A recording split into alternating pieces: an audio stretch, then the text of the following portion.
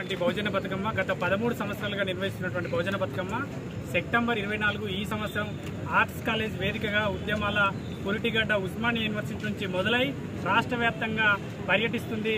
రాష్ట్ర వ్యాప్తంగా ఉన్నటువంటి విద్యార్థుల సమస్యలు రైతుల సమస్యలు కార్మికుల సమస్యలు తెలుసుకోవడానికి అదేవిధంగా బహుజన బతుకమ్మ అంటే ఆట పాట ఆట మాట పాటతోనే కాదు ప్రజలలో చైతన్యాన్ని నింపడం కోసం పోరాట పటిమని పెంపొందించడం కోసం ప్రతి అంశాలను కూడా తెలుసుకోవడం కోసం బహుజన బతుకమ్మ ఉస్మానియా యూనివర్సిటీ వేదికగా బయలుదేరుతా ఉంది.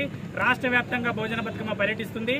కాబట్టి విద్యార్థులు కావచ్చు కార్మికులు రైతులు పెద్ద ఎత్తున కూడా బహుజన బతుకమ్మకు బ్రహ్మరథం బట్టి మొత్తం కూడా స్వాగతించాలి. బహుజన బతుకమ్మలో ప్రతి ఏ జిల్లాలో ఉన్నటువంటి విద్యార్థులు కావచ్చు అక్కడ ఉన్నటువంటి రకరకాల సంఘాలకు సంబంధించినటువంటి ప్రజా సంఘాల నాయకులు కుల నిర్మూలన కోసం మతోన్మాదానికి వ్యతిరేకంగా పోరాటం చేయడానికి ఈ బహుజన బతుకమ్మ బయలుదేరింది కాబట్టి ఈ బహుజన బతుకమ్మలో భాగస్వామ్యం కావాలని ప్రతి ఒక్కరిని కూడా తెలంగాణ ప్రజానికాన్ని కోరుతా ఉన్నాం.